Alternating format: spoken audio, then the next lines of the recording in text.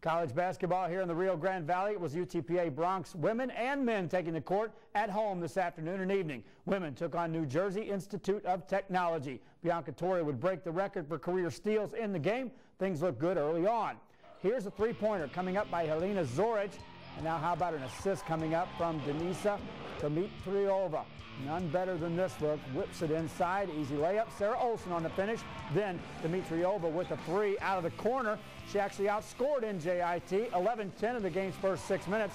Lady Broncs up 69-59 late in this one, but NJIT would not go away. Two teams ended up taking this to overtime. Broncs fell 81-75.